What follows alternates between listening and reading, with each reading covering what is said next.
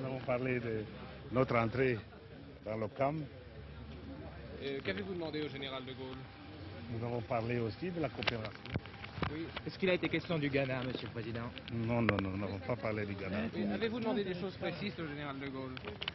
Nous avons fait le tour, le tour d'horizon de tous les problèmes qui intéressent mon pays, qui intéressent l'Afrique et qui intéressent le monde. Oui, a-t-il été question de la coopération, euh, disons d'une coopération directe entre la France et le Congo? Maintenant, le Congo fait partie de cet ensemble, cet ensemble de l'OCAM qui sont les pays tous francophones.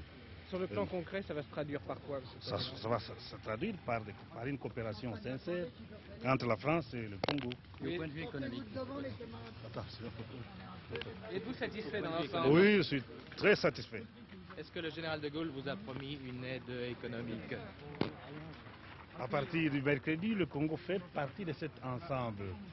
Donc, c'est dans l'intérêt du Congo, dans l'intérêt de l'OCAM et dans l'intérêt de la France aussi que, le Congo participe et travaille ensemble, la main dans la main avec la France.